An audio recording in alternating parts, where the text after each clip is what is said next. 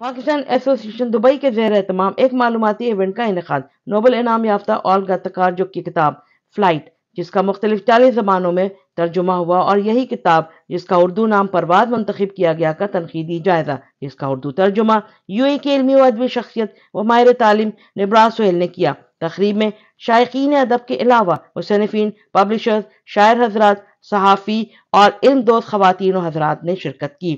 On line مبصرین میں لاہور سے فرت بادشاہ، جرمنی سے عاطف توقیر ڈینمارک سے صدف مرزا، کینیڈا سے روبینہ فیصل اور ملتان سے سائمہ ملک نے شرکت کی اور کتاب پر اپنے ماہرانہ تبصرے پیش کیے۔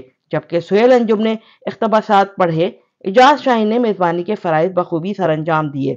تقریب میں جن اہم شخصیات نے شرکت کی اور کتاب میں اپنی دلچسپی کا اظہار کیا، ان میں ڈاکٹر رحمینہ، ڈاکٹر نور صبا، نیر سروش، محمد طہا سیما زیدی، شہناز خانم، ہنا، صدف رضا، افشاں، عائشہ سادیہ سائمہ جہاز مغل آسم وردک و دیگر شامل تھے۔ شائقین ادب، خواتین و حضرات نے کتاب پرواز پر تبصرے پیش کیے اور نبراسویل کی علمی خدمات کو سراتے ہوئے انہیں خراج تحسین پیش کیا۔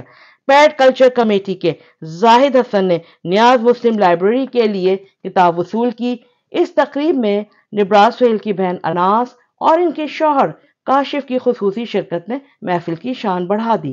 رابعہ اشرف، امارات نیوز، دبئی۔ کرتی ہوں تو مجھے محسوس ہوتا ہے کہ یہ سفر بیرونی مختلف علاقوں کا سفر، مختلف شہروں اور ملکوں کا سفر تو ہے ہی ہے، مگر اس کے ساتھ انسان کے اپنے اندر کا سفر ہے۔ اس جسم کا سفر ہے جس کو وہ اس سفر کے لیے ایک کیریئر مانتی ہیں اور پھر وہ آپ کو آپ کی باڈی کی اناٹمی کے اندر لے کے جاتی ہیں اور آپ کو آپ کی نفسیات میں لے کے جاتی ہیں اور وہ سیاحت کی نفسیات پر تبصرہ کرتی ہیں۔